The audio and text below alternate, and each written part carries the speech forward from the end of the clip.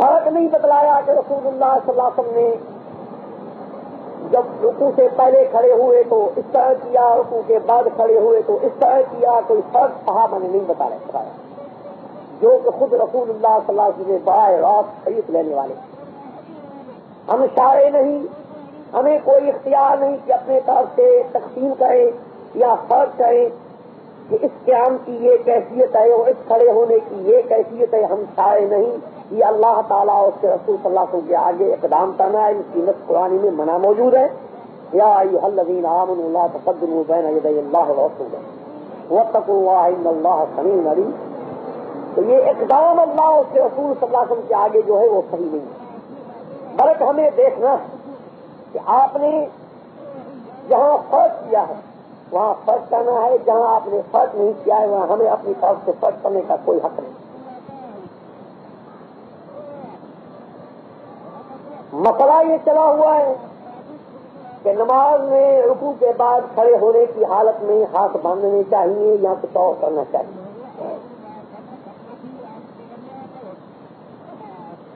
काफ़ी सालों की बात है कि ये मौलाना अब्दुल साहिब मरूम बहालपुरी के साथ इस मसले पर बात हुई, उसी ने इस मसले को छेड़ा था। हमने उनके साथ इस पर बहस की और जो कुछ बात उसको जहन में थी उसके सामने पे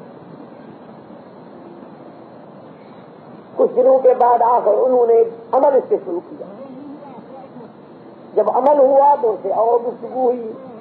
बिलाकर जिस तरह उन्होंने समझाया, हमें समझ में आ गई हमने महसूस किया कि नमाज़ में खड़े होने की हालत जो है, वो हाथ बांधने से होती है और यही कैसे नमाज़ हाथ खोल के खड़े होना या खड़ा होना, ये नमाज़ की कोई कैफियत यहाँ है नहीं। जब हमने अमल ये शुरू किया तो लोगों ने फतवे शुरू कर दिए। मौलाना अब्दुल साहब मरूम तो फ़ौरन हिजरत करके मक्के मौसम चले गए। यहाँ लोगों ने ये फतवा दिया कि ये सिंध से नई ईजाद है। हमें ये भी पता है कि पंजाब से कई मसले नए निकले हैं। लेकिन उन पर किसी को गुस्सा नहीं आया। और होना भी नहीं चाहिए। बल्कि ये तो हमारी खुशकिस्मती है कि एक बात हमें समझ में ना आई या हमको मालूम न थी हमें मालूम हुई, कहाँ से भी हुई तो हमें लेनी चाहिए। लेकिन तासुब का बुरा हो इन्होंने इसको ये सिंधी और पंजाबी का रंग दे दिया। हकीकत में उन लोगों की ये जहालत की इंतहा है। हम हम पर इल्ज़ाम उन्हें सौंप दिया। खुद उनके पंजाब के इलाके में जिला हिजारा के। एक मौलाना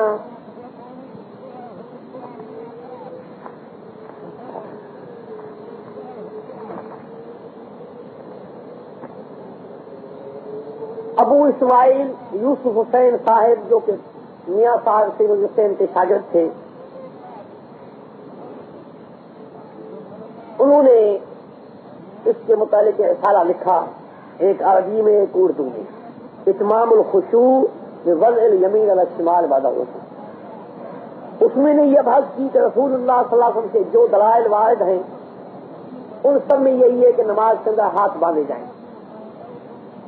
कहीं हाथ खोलने का ज़िक्र नहीं तो फिर हम हाथ क्यों खोलते हैं? किसकी तैयारी करते हैं? किसकी इताद करते हैं? तो ये तो हमसे पहले की बात है। और इसी तरह अब अब्दुल्ला साहेब बड़ी मरहूम ने अपने एहसाल युदैन के अंदर ये कबूल किया है कि दिल्ली में चंद लोग हाथ बांधते थे। अब ये उस जमाने की बात है कि मेरे ख्याल में हम तो दुनिया में पैदा भी नहीं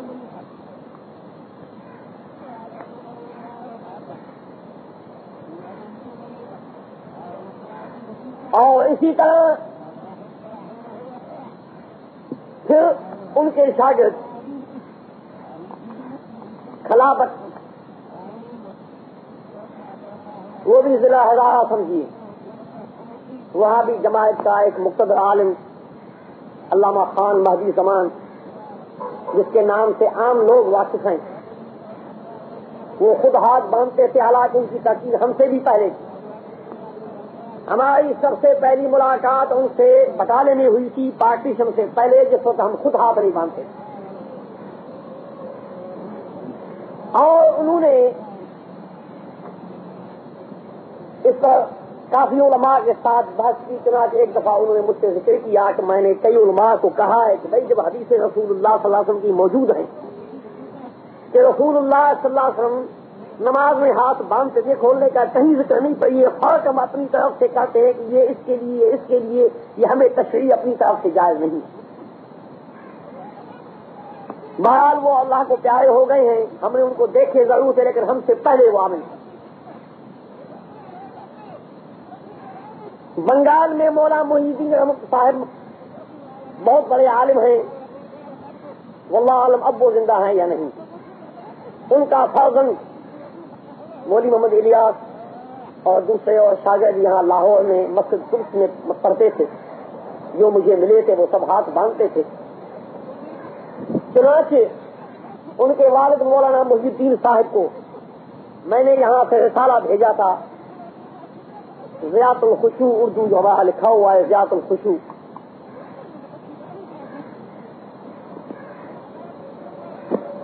बेवजल यदैन फिल इबाद रुकू। अलमुलक का भी रुकू के बाद हाथ बांधना। ये हमारा इतला सबका हाथ, हाथों हाथ लोग में पहुँच गया है। ये इशारा मैंने मौलाना मोहिद्दीन साहब को बंगाल में भेजा। उन्होंने शुक्रिया का मुझे खत लिखा आपने अल्हम्दुलिल्लाह एहया सुन्नत के लिए आपने किताब लिखी है और इसकी मदद की है, खुदा आपको इसका अजर देगा, बड़ी अच्छी की है। अब हम अपने मेहमानों से पूछते हैं कि बताएँ कि क्या ये हमारी ईजाद है या पहले ये बात भी मौजूद थी? मुल्तान में मौलाना अब्दुल तवाब साहब मरूम जो कि शागिर्द थे, मौलाना रियोसन साहब मरूम शेखुल के। उनके साहिबजादे मौलाना अब्दुल मदूद साहब बहुत बड़े आलिम हैं वो अब तक बकायद हयात मौजूद है। उनका भी यही मसलक है हालाँकि हमारे मुलाकात, यानी हमारे इस मसले में गुफ्तु से पहले उनका ये मसलक था। और उनकी अपनी ये वजाहत है कि मैंने किसी को नहीं देखा। सिर्फ़ दलाल मैंने देखे कि दलाल में चूँकि ये था कि आम हुक्म कि हाथ बाँध ही जाए, खोलने कोई नहीं किया मैंने अमल किया और मुझे कोई नज़र नहीं आया। हमसे वो पहले आलिम। तो अब मौलाना बताएँ या हमारे मेहमान बताएँ कि क्या ये हमारी ईजाद है? या बिकौल शायर, नमन तनहा दरी, मैं मस्तम जुने दो शिवलियो अता शुद्ध मस्त बाद मेहरबानों ने हम पर बिदाती की फतवा भी लगाई है। लेकिन वो बच्चे सोचें कि उनकी इस फतवा से कौन कौन बच सकता है? मौलाना इस्माइल साहब गजनबी माहूम उसको भी आप जानते हैं। पुराने आलिम हैं और हमेशा हुकूमती फौजे में आते जाते रहते थे। वो भी खुद इस बात का इससे कायल थे मुझे कोई इस बात का इल्म नहीं था। सन सैतालीस में जिस साल पार्टीशन हुआ था, हम हज जा रहे थे। हिंदुस्तान जहाज़ पानी में हमारी, यानी सवारी तीसरा हम उसमें कर रहे थे। तो उस वक्त जो लोग, हम पहले आज़ाद करते थे, क्योंकि सब अक्सर गए अरबी थे तो एक आदमी में एक बढ़कर एक आदमी का ये भी था कि ये शख्स के बाद भी हाथ बांधता है हालाँकि अभी हमको ताज़ा हुआ था, कोई एक साल के करीब हुआ था हमने ये काम शुरू किया था। तो अक्सर शिकायतें इलमी जो थी, वो मौलाना इस्माइल साहब के पास जाती थी। एक तो आलिम मशहूर था, दूसरा ये कि हुकूमत की तरफ़ से उनको इज़्ज़त होती थी और उनको मकाम होता था अफसर और ये कैप्टन वगैरह सब उसकी इज़्ज़त करते थे, लिहाजा लोग इसकी तरफ़ ज़्यादा मुराजत करते थे। चुनाव इसके पास शिकायत ले गए, जिनमें कुछ अहदीस थे। ये किस्सा खुद मौलाना ने मुझे खुद सुनाया। जाके शिकायत की कि भाई हाँ एक तो और तो और हमने एक और बात देखी कि रुकू से सर उठा जाइए हाथ भी बांधता है। तो मौलाना ने कहा कि मैंने उनसे आगे कि भाई हाँ ये बात साबित है, मैं खुद बांधता हूँ। जब मौलाना ये मुझे बात सुनने मैंने कहा हाँ मौलाना, आप भी बांधते हैं। माशाल्लाह, ये तो वाक्य वही हुआ। कि इमाम अहमद के सामने किसी आदमी ने कोई मसला पूछा, इमाम साहब ने उसका फतवा दे दिया। तो एक शख्स कहता है कि जनाब, इमाम इसहाक बिन राहवे से यही फतवा पूछा गया तो उन्होंने भी यही फतवा दिया जो आपने दिया तो फरमाया आज़ाद लकद जनन तो अन्ना युताबी अलग तो अच्छा किया उसने, यही जवाब दिया। अगर इसहाक ने भी यही जवाब दिया तो बहुत अच्छा किया। मेरा तो ख्याल था कि कोई मेरे साथ इसमें मुआफिक नहीं है। मेरे फतवा में कोई मेरे साथ मुआफिक नहीं है। मैंने मौलाना से कहा कि मुझे तो वो बात याद आती है। मैं मुझे कहा कि आप ही मेरे मसलक के थे। फिर उनसे मैंने ये कहा कि जनाब, मुझे सुनने में आया है। मौली अब्दुल साहब मरूम और और दोस्तों ने सुनाया कि नजद का बादशाह मौलाना इमाम अब्दुल अज़ीज़ इबन सऊद रहमत वो भी हाथ बांधते थे उठने के बाद। तो ये क्या बात सही है? उन्होंने कहा हाँ सही। हालाँकि हमें पता है कि वो बहुत बड़े आलिम थे, और हमेशा इलमी, उनके यहाँ मजालिस होती थी। तो ये चीज़ हमारी निकाली हुई ये सही नहीं। जब अल्लाह तला ने हमको सरजमी हिजाब से पहुँचाया उस पहले हज पर तो वहाँ हमने कई लोगों को हाथ बांधते हुए देखा। बाद से गुफ्तगु भी करते थे। बल्कि उस वक्त असल नमाज़ की जो इमामत करता था शेख अब्दुल्ला, वो दरअसल काफ़ी जो चीफ जज था हिजाज का उस वक्त काफ़ी मोहम्मद, शेख मोहम्मद जिसको मलिक सऊद बादशाह अपने बाप की जगह कहता, मेरा बाप है। उसका बेटा। था वो खुद हाथ बांधता था तो दो चार दफ़ा तहकीक के बाद से मैंने उसे गुफ्तगु की और विजाय ने मुझे ये बताया कि अभी तू का फात पर जाने का वक्त है, लिहाजा फात पार होने के बाद हम बात करेंगे। फिर गुफ्तगु हुई और मुझे बतलाया कि हदीस उसने अल्फाज ये कि इंद का बुखारी थी सही बात बुखारी मौजूद है। मैंने कहा हाँ देखिए। उसने कहा कि उसमें क्या देखा है? हाथ बांधने की रिवायत देखी या खोलने की देखी? है मैंने हाथ तो बांधने की। अब छठी सूरज इसके मुतालिक आप सुने। हम खुद आपसे पूछते हैं कि सलादुल कसूर चाँद सूरज ग्रहण की नमाज़ में चरात करके हमारे उलमा रुकू करते हैं, फिर खड़े होके, फिर खड़े हो जाते हैं। रुकू करते हैं, फिर रुकू करते हैं। अब रुकू के बाद जब खड़े होके फिर हाथ बाँध लेते हैं यहाँ। अब इनसे पूछो यहाँ हाथ बांधने की क्या दलील है? कोई दलील है कि यहाँ रसूल हाथ बांधे सिवाय इसके यहाँ खड़ा होना है। हाँ ये तभी कहोगे कि किरात है तो उसकी बात आगे आती ये यहाँ नहीं चलेगी। यहाँ ये ये रसूलुल्लाह सलाह ने जब खड़े होते हाथ बांधते। चलो इसको भी छोड़िए। जनाजे नमाज़ में क्या करोगे उसके लिए क्या दलील है? कोई है सही है हाथ बांधने की? रसूल ने हाथ बांधने क्यों हाथ बांधते हो? कोई दलील नहीं सिवाय के रसूलुल्लाह जब हाथ बांधते थे।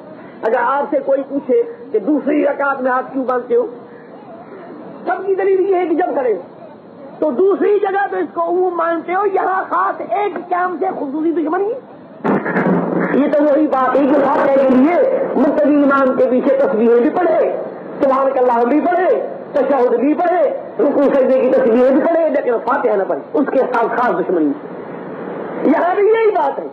इसी रिवायत से जनाबे के लिए इस्तेमाल किया जाए कुछू के लिए इस्तेमाल किया जाए, संस्कार के लिए इस्तेमाल किया जाए, लेकिन यहाँ ये बात सामने हम तो यही कहते कि जब हाथ जब खड़ा होना है हाथ बांधना है।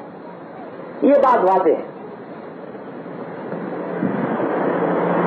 अब यहाँ लोग, आपके सामने एक रिवायत पेश हुई, जो बिल्कुल अपने मतलब में वाजे है, इसको किसी तरह हद करने का कोई चाह नहीं। बेशर्त एक इंसाफ हो। बात कहते हैं जी। एक रिवायत में आया कि रसूल ने माल शुरू की और हाथ, अल्लाह के हाथ बांधा। फिर आपने रुकू किया, फिर आप संविधान कहे पर सजे में गए। उसमें दूसरी दफ़ा हाथ बांधने का ज़िक्र नहीं है, दूसरी दफ़ा हाथ बांधने का ज़िक्र नहीं है, लिहाजा साबित हुआ कि पहले काम में बांधना चाहिए। हालाँकि ये कोई कायदा नहीं। ये जब हो कि उसमें दूसरे क्याम में रुकू के बाद खड़े होने की हालत में किसी दूसरे अमल की जो है वो तस्वीर हो या बयान हो, वो कोई बयान नहीं। मैं पहले अर्ज़ कर चुका हूँ कि जो लोग सहाबा ने नकल करते वक्त जो चीज़ें एक कैफियत की होती थी, उनकी एक ही की बयान की। अब इसी रिवायत में पहले सजदे का बयान। इसी रिवायत में जो आप बयान करते हो इसमें पहले सजदे का बयान सजदा आपने किस तरह किया। लेकिन दूसरे सजदे की कैफियत बयान नहीं? तो वहाँ क्या करोगे, कहोगे, वही सजदा है क्योंकि कैफियत में फ़र्क नहीं, इसलिए वो चीज़ बयान की। यहाँ भी नहीं क्योंकि कैफियत में फ़र्क नहीं, लिहाजा वो हाल तो फ़र्क नहीं। उसमें कोई इस चीज़ का इनकार नहीं। बल्कि वायल की रिवायत मुँह में आएगी एक जगह मुस्लिम अहमद में तो यूँ कहा कि आपने अल्लाह पर किया, फिर आपने रुकू किया, फिर आपने सभी लालम किया, और मैंने आपको हाथ बांधते हुए देखा। क्याम भी ज़िक्र किया, रुकू भी ज़िक्र किया, फिर दूसरा क्याम भी ज़िक्र किया। अब यहाँ क्या करोगे? तो ये कोई तावीर यहाँ नहीं कर सकते। रवायत अपने मामले में बिल्कुल साफ़ है। दूसरी रिवायत इसके लिए बुखारी शरीफ की है। जिसके अल्फाज ये है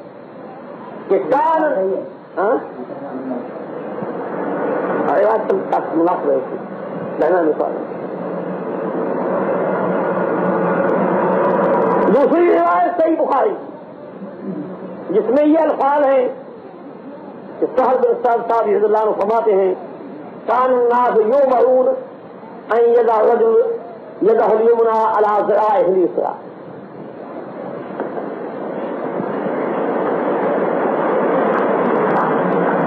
यानी नबी सल्लल्लाहु के जमाने में हुक्म यही था, सिलसलात। और जराई सिलसलात। हुक्म ये था कि नमाज़ में नमाज़ में अपना दाया हाथ बाया पर रखें। दाया हाथ बाया पे रखें, नमाज़ में। अब नमाज़ अल्लाह से लेकर वालेकुम तक है नमाज़। इसका सवाल नमाज़ है। अस्सलाम में शुरू होती है, अल्लाह का शुरू के साथ खत्म होती है। नमाज़ में हाथ दाया बाएँ पे रखना अब हम देखते हैं कि बैठने के लिए हालत दूसरी बयान हुई है। दूसरी हालत बयान हुई है कि आप वो रानू और रुकू पे रखते रुकू के लिए भी दूसरी हालत है। आप घुटने पे रखते थे, ये भी निकल गया। सजदे की आए आप ज़मीन पे रखते थे तो ये हालत उसमें दाखिल नहीं। अब बाकी क्या मुँह की हालत खड़े होने की हालत है। अगर आप लोग ये दावा करते हो कि रुकू के बाद जो क्या है वो इसमें दाखिल नहीं तो उसके लिए दूसरी कैफियत बनाए, उसको निकाल दे। जैसे सजदे की, रुकू की, जलसे की दूसरी कैफियत बयान की गई। हम समझ गए कि ये मुँह में दाखिल नहीं है सलाद में। इसी तरह इसको आप निकाले तो इसके लिए कोई दलील लाए। वरना सब इसमें दाखिल है। सलाद करने से क्याम कायदा रुकू जलसा, सारी नमाज़ का यही कैफियत का आसमान दाया बाएँ रखे लेकिन क्योंकि रुकू के लिए दूसरी कैफियत आ गई सजदे के लिए आ गई, जलसे के लिए आ गई तो वो इससे इस्तना होगी, निकाली जाएगी। लेकिन आप अगर क्याम सानी को, यानी रुकू के बाद क्याम को निकालना चाहते तो उसके लिए कैफियत कैसे दी गई कैफियत में बयान होना दलील ही है कि वही हालत। कि वही एक ही तरह के क्याम है, इसलिए उसको नहीं नकल किया तो यह बात बिल्कुल सही है, जो क्याम की हालत के लिए वाजे है, इसको कोई इनकार नहीं कर सकता। इसके अलावा, रसूलुल्लाह सल्लल्लाहु अलैहि वसल्लम ने यह भी कहा यह हदीस भी मनकूल है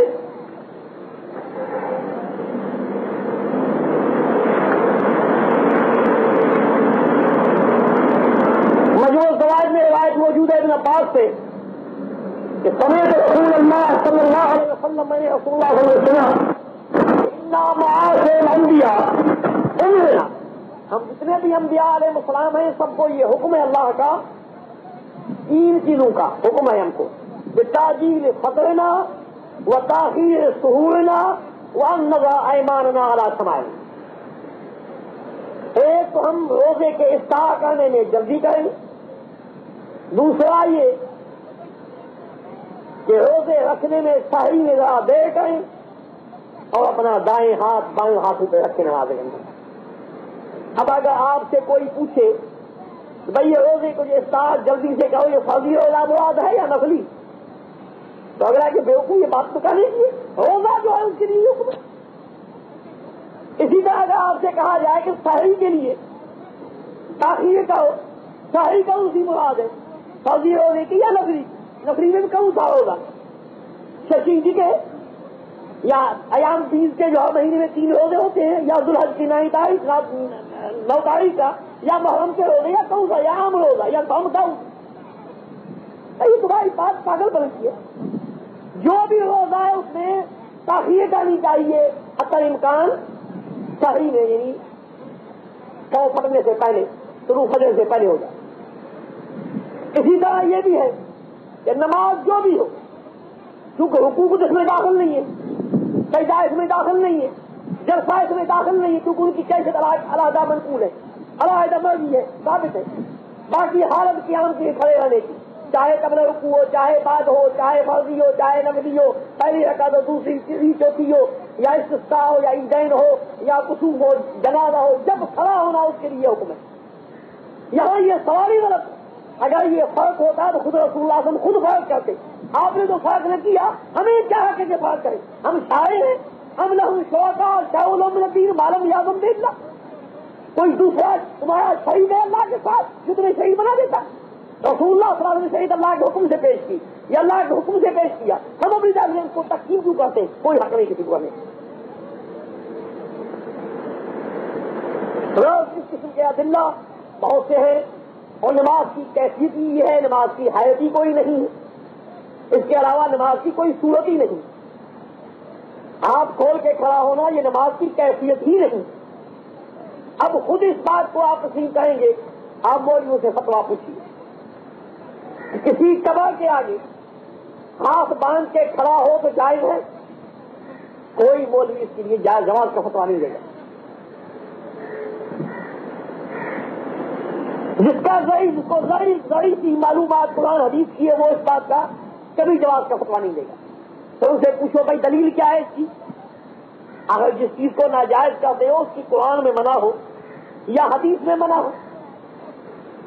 मनाओ, कहा, मना दिखाओ कि रसूल्ला ने मना किया है किसी के सामने, कबर के सामने या मुर्दे के सामने या जिंदे के सामने, हाथ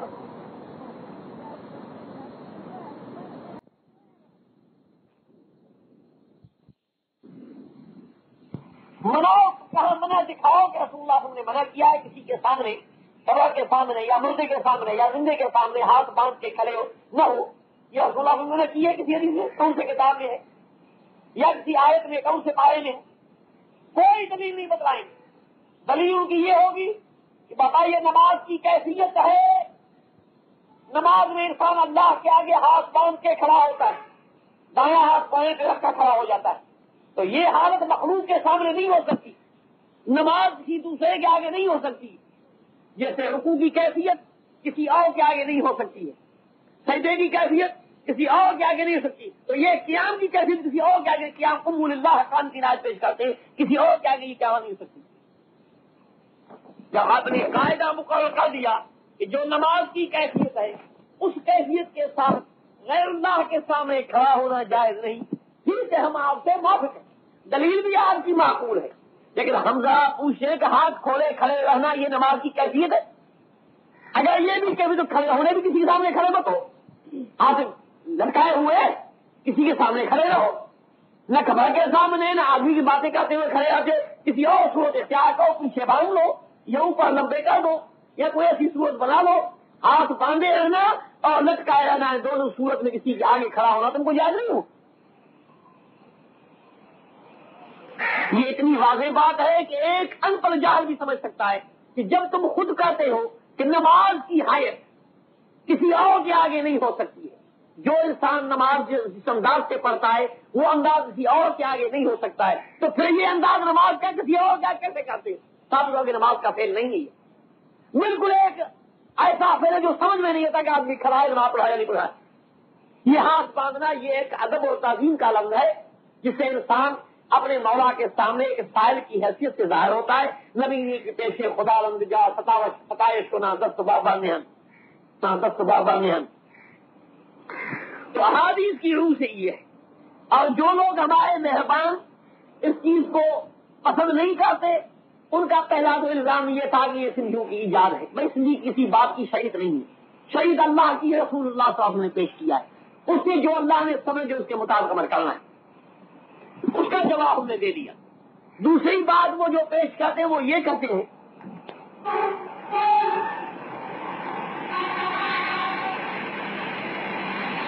उड़ाते बात ये है कि नमाज़ के शुरू करने के बाद हमने हाथ बाँध लिए। अल्लाह कर करके हाथ बाँध लिए। अब जब रुकू में जाते तो हाथ हमारे खुल गए। अब दोबारा बांधने के लिए दलील चाहिए। ये जितना सवाल भद्दा और बेहुदा है, इतना ही गलत है। खुद इसके मुखालिफ है। अगर हम पूछे कि रकात पूरी करके फिर उठते हो, फिर क्यों बांधते हो? और नमाज़ के अंदर, नमाज़ में एक दवा खुल गया, अब दोबारा क्यों बांधते हो? चाहे पचास रकात तक जाए बांधने की दलील चाहिए किसी किसी हदीस में ये तो नहीं कि आपने दूसरे का नमाज़ बाँध ली कोई सूरत नहीं। अगर ये कहो कि खड़े होने की हालत आ गई तो वहाँ भी खड़े होने की हालत आ गई। अच्छा दूसरी बात ये भी है कि हाथ खुल गए, रुकू की वजह से। ये नहीं कि खत्म हो गए, रुकू की वजह से घुटने पे रखने हैं, इसलिए। जब वो हाथ खत्म हो गए फिर वो खड़े होने की हाथ आ गई तो फिर वही आसमान होगा जब खड़े हो, बात चलो, ये नहीं मानो आप। अब आप बताइए आप नमाज़ के अंदर। के अंदर मतलब सूरज सही की को वाली सूरज का है जैसे हमारी मुकाबल है अभी इसके मुताबिक जुमे के दिन समय की नमाज़ में पहली रकात में सूरज सही पढ़ते हैं और फिर सही तलावत कर दिया जाता है हम सोचते मूर्यों को सजा तलावत के बाद उठकर आप क्या कहते हैं आप तो बोलने हुए अल्लाह को आपने हाथ बाँध लिए अब सजने के लिए हाथ खुल गए आपके अब फिर जो उठते हो अब क्यों हाथ बांधते हो इसकी क्या दलील नहीं यदि जो आपके जहन में आ जाए, आपकी तबीयत कबूल कर दे, आपके बड़े कहे वो शरीयत है दूसरी नहीं तो फिर तुम मुकदमी में क्या तो तकलीफ़ के लिए खाना पीछे तुम घर आप भी खड़े हो। क्या है? बीमारी में खुद मुबतला हो बीमारी की तंगी का है? ये तो सवाल ही। ये तो खुद को तो सबूत नहीं इस बात है सबूत है खड़ा होने की हालत। जब भी खड़ा होने की हालत आए। तलावत के बाद आए, रुकू के बाद आए थकान पूरी होने के बाद आए तमाम देखकर दुआ हाथ में खड़े होने की हालत बढ़ जाए जिस नमाज़ में हाथ बंद है वो नमाज़ होने पड़ा। ये वो नहीं कर सकता। बाद ये कहते हैं कि चूक दूसरे क्या में किरात नहीं। इसलिए आप नहीं मान जाए। भाई, ये कायदा आपने कहाँ से लाया? क्या रसूलुल्लाह सल्लल्लाहु अलैहि वसल्लम की हदीस खुद कायदा नहीं उनके बाद तुम्हारे कायदे के मुताबिक चलेंगे। ये कायदा फिर खरीद कि जब क्या कहो आप मानो। ये कहा। हदीस में गए जब खड़े होते का नहीं ये फालू इलाका रखा है। जब आप पर बनने वाले होते थे तो हाथ बंद फिर बात हो जाती या तो हदीस में अल्फाज बढ़ाओ। ये तो वजाइन का काम है जो हदीसें बनाते यूटी अल्फाज अपना बनाओ जिसका और लोगों ने अपने मतलब हदीसें बनाई नहीं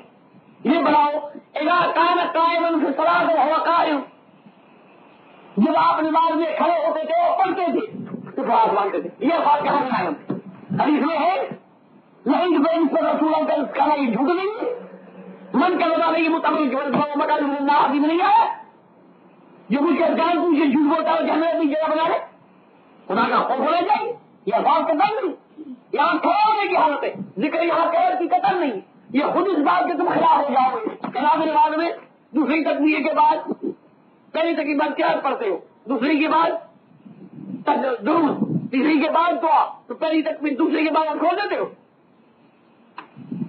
नहीं, अभी सलाम के बांधे हुए। क्यों बांधते हो? प्याज के लिए है तो बनो। मुक्तदी के मुक्तदी को जारी नमाज़ में फाते अलग पढ़ने की इजाज़त नहीं।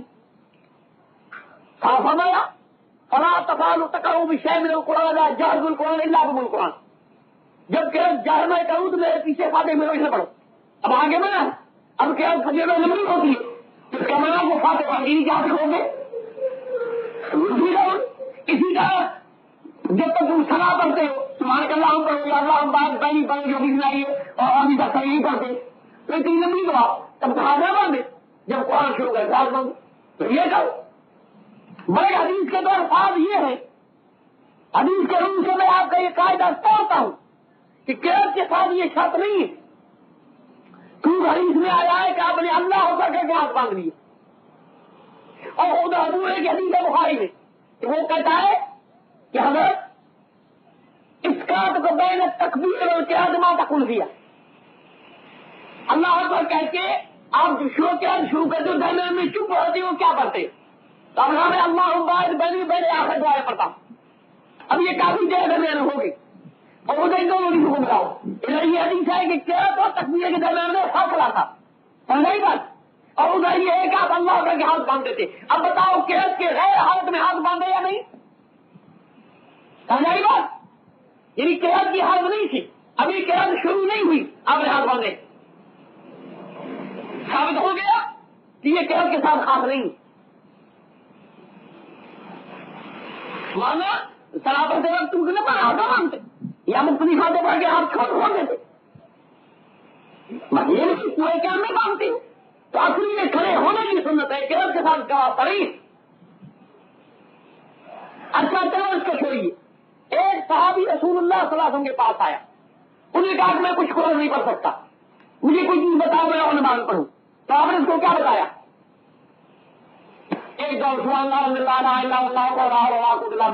ये पढ़ो ये कहा था उसको अरे सुने तो सही अब यही फतवा आप भी दोगे या कोई अभी खिलाफ और फतवा किसको बातें नहीं आती है जब तक सीखे नमाज़ पढ़े या ना पढ़े पढ़े कहोगे पढ़े पढ़े तो पढ़ेंगे यही पढ़े अगर यही पढ़े तो इस वक्त क्या करे तो उसको नहीं आती है बांधे या खोले उसके लिए क्या करता आप पर उसको क्या कहोगे और ये अक्ल और क्या का घोड़ा यहाँ नंगला हो जाएगा। नहीं जा सकता भाई।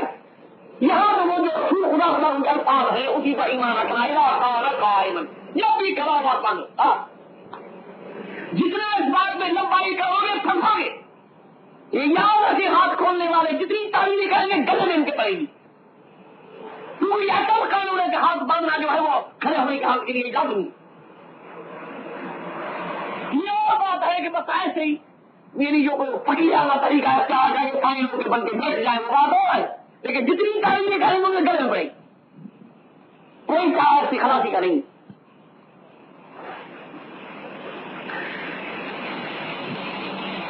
मान लो ये तवा पर चलाया है, ऊपर से।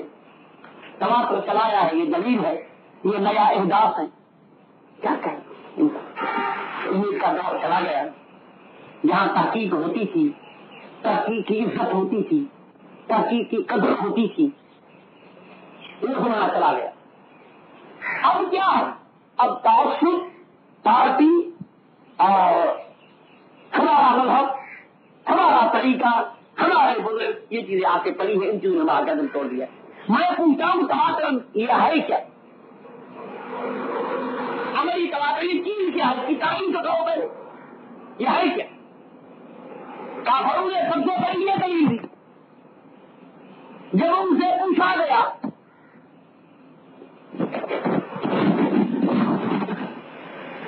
कि हर ये सुनूलकुम इंतदून और ये फरूलकुम और जिनको तुम पुकारते हो, ये तुम्हारी बात सुनते हैं?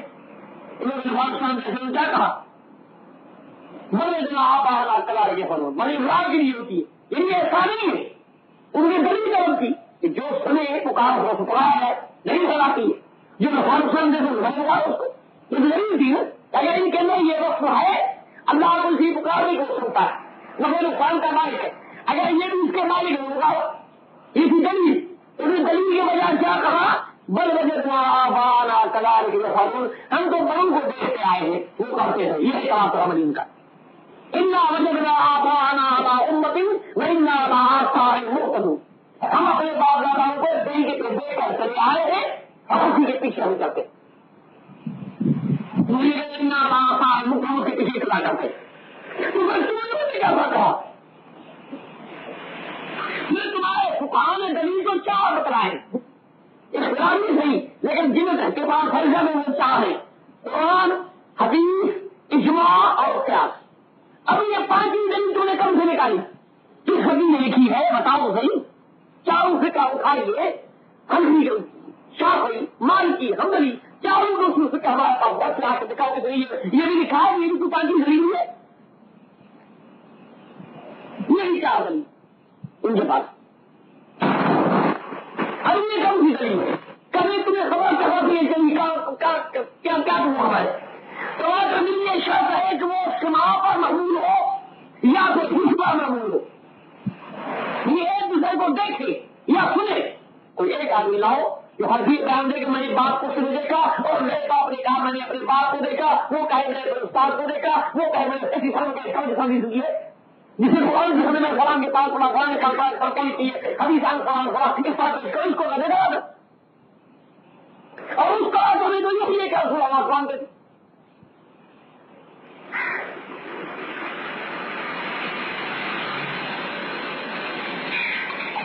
शेखुल इस्लाम इबन तेमिया ने आठवीं सदी में तलाक सलासा का मसला निकाला। तीन तलाक एक होती है। आपकी भरी हुई है कि सब लोग कहते हैं तीन होती इमाम साहब ने हदीस दायर कर दी। हदीस पहले मौजूद थी। उन्हें मसला पेश किया। सबसे उनको अपनी तकलीफ़ दी गई और उनकी सुने, बड़ी यही दलील दी कोई इसका कायल नहीं है। यही तुम्हारा तवा तो हमने पेश किया। तो वहाँ उस तवा तवरी को ठुका दिया और यहाँ उसको गले में पकड़ दिए क्यों? वहाँ उसको तवा तवरी को ठुका दिए। कि नहीं भाई किसी को नहीं मांगे हदीस का दिए। और यहाँ उसी को गले हार बनाते। ये तो सब अगर इस मामले में तुम सही हो तो दयानत का तकाला ये है। और अमानत का तकाला ये है। कि वहाँ अगर ठुका तो भी ठुका क्या कहा होता है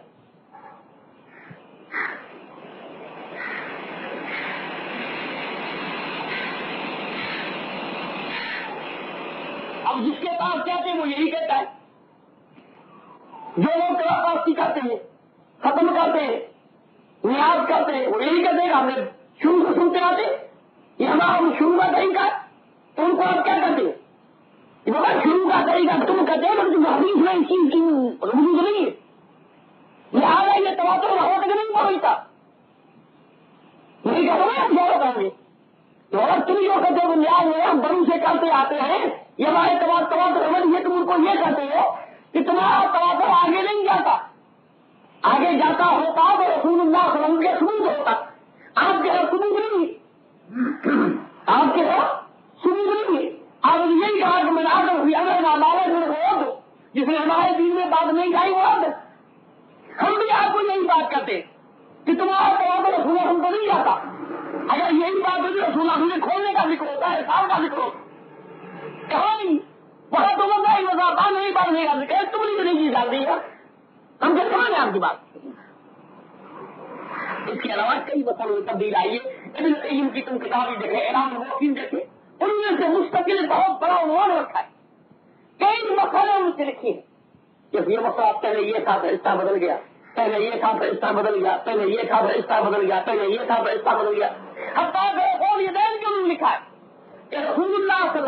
सहाबा के जमाने में लोग जो अमल करते थे, उनकी रिवायतें देखते हैं। तो जैसे इंसान को एक आँखों से देखा है, थोड़े दिनों के बाद मामला बदल गया।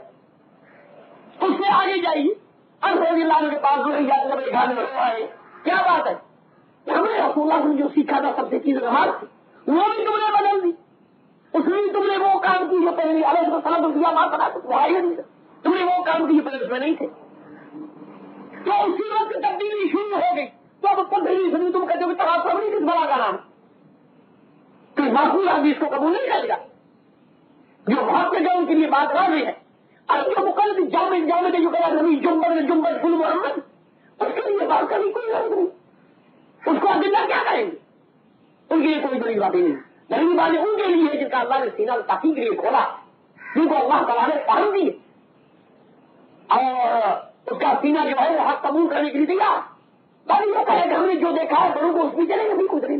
तो इतना फला बनवाले वो नहीं करते फला वो नहीं करते। अल्लाह के बंदो, तुम अरबी जब एक तरफ़ ऐलान करते हो कि हम किसी सहाबी की तकलीफ़ नहीं करते, हम किसी इमाम की तकलीफ़ नहीं करते, किसी अहमद की तो उनसे भी तुम्हारे आपके उलमा लगाओगे? ये तो कोई बात नहीं।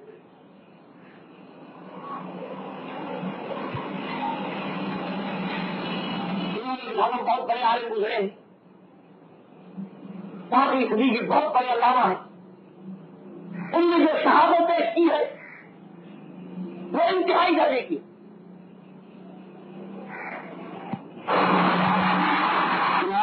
मोहल्ला उसकी मशहूर है। नमाज़ मशहूर प्रतिदिन सुबह को बारह में मसला चार सौ अड़तालीस के दस बयान करते हैं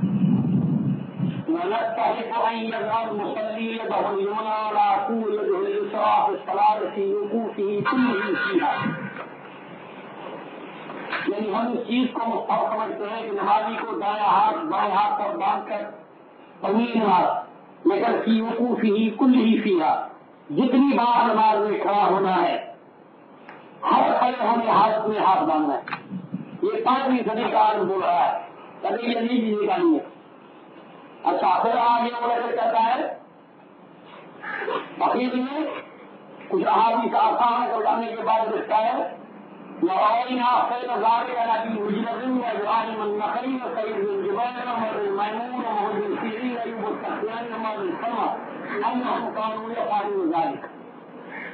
बताए कि हमें रिवायत पहुंची इन लोगों से इब्राहिम नकई से मुझे से Saeed bin Jubair Amr bin Maimoon Muhammad Sirin मुसक्कल मौसम कुछ ताबे का बतावे ये सब लोग यही काम करते थे इसी तरह इमाम पढ़ते थे क्या कहता है वह कौल अभी हनीफत और शाफई व अहमद व दाऊद अहमदीन में से इमाम अबू हनीफा इमाम शाफी इमाम हम्बल और इमाम दाऊद इन सब का यही अमल था सबका कौल यही है अब पहले ये कहा कि हम चाहते कि नमाज़ के हर खड़े होने हाथ में हाथ बांधे कहता है सबका कौल यही है अब आपका कड़ा छत्तीस खड़े ले जाएगा तवाजों का कोई निशान नहीं रहा बरारी अमल मौजूद था बाद लोग एक रिवायत पेश करते हैं जो बुखारी शरीफ में इन अल्फाज के साथ है मालिक हुए से रिवायत है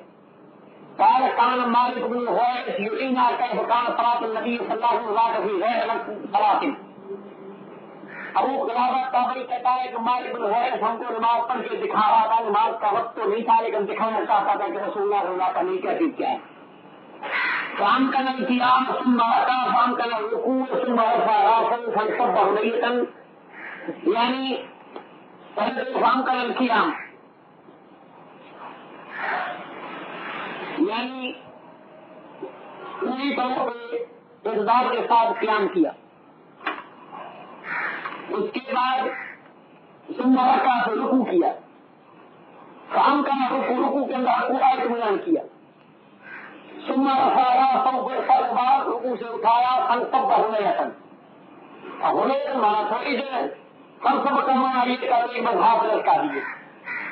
लेते हैं हम पूछते लोग के लिहाज से, शहर के लिहाज से किस बिना पर आप बना लेते हो? और सब का माना है इस बात से। इस बात की माना लघुई तो होता है लेकिन यहाँ ये तो चीज़ नहीं है। मैं आम शुरा यदि बोलते फतल बारी पड़ी है, उनके कारी अली की पड़ी है सब लिखते हैं। मैं फतल बारी का ये लफ्ज है। उनके अल्फाज ही ये है।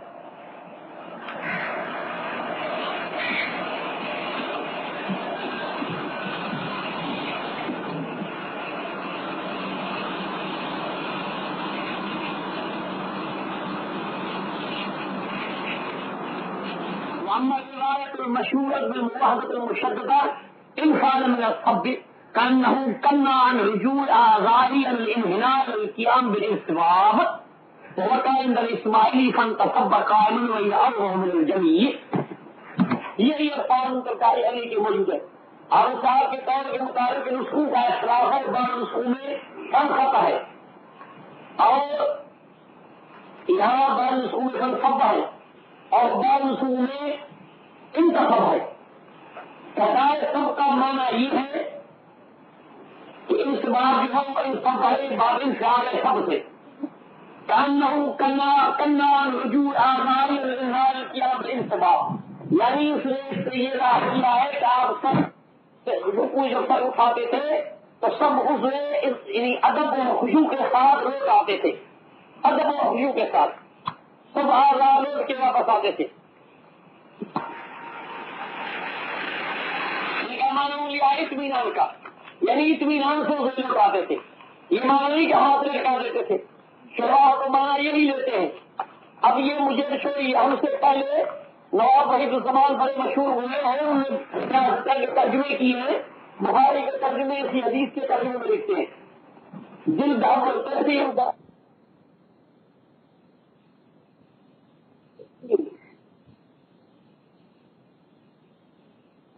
अब आप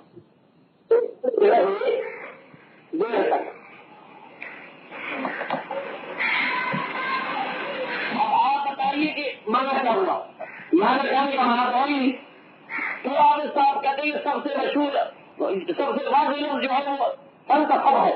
यानी खुप गए खड़े हो गए, मज़बूत इंतज़ार हुई कान मुसीबत खड़े हो गए। तो इस बात का माना होगा खड़ा होना इतमान से खड़ा होना, खुशू से खड़ा होना। और खुशू से लोट के खड़ा बस लोट का ना लोट के तो साफ़ रहा है कि हाथ सीने पर से रुकू की वजह से खुल गए। अब अपनी जगह पे लौट आए यानी अपने सीने पे लौट आए। इमाम बुखारी ने खुद इस पर बाब जो पका है, बाबुल इतमानी में कहीं नहीं रखा हुआ रुकू। रुकू से उठाए तो इतमान ज़रूरी है। मोहसिन तो ये माना करते हैं नबूत का ये माना है न तुम्हारी शवा का माना है और यानी किसी चौथी सदी की तुम्हारी नहीं ये शाह है हम क्या कहें इसको यहाँ से कोई साध नहीं होता है वाले को बात पेश करते हैं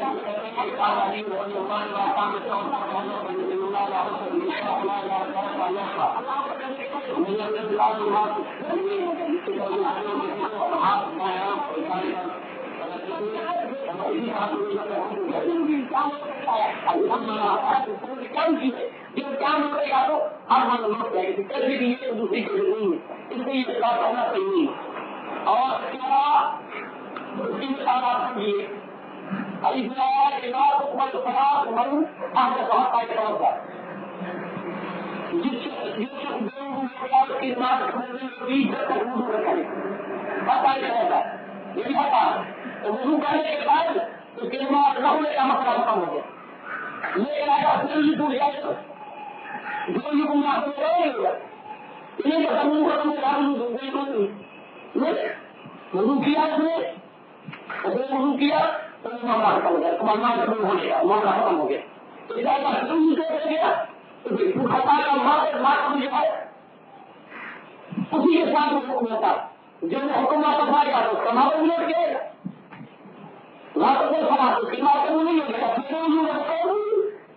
इसी तरह का फिर क्या मारेगा ध्यान देने नहीं मामूली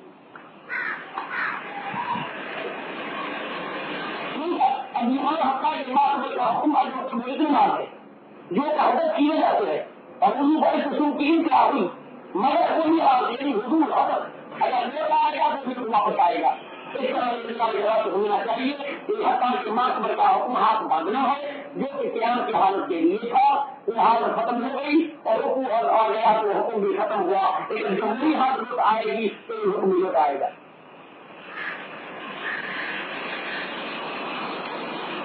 आएगा उस किस्म की और बात करते हैं। कि में आएगा तो उसको पता नहीं लगेगा। अगर हाथ बाता होगा तो बताने लगेगा कब खड़ा है तो उसे कब खड़ा है तो बाद खड़ा है अगर उसे कब खड़ा है तो हाथों में अगर उनके बाद खड़ा है तो दुआ करे। उसको बताने लगेगा हाथ बंद तो बताने लगेगा। ये तो सारी बात बनता है।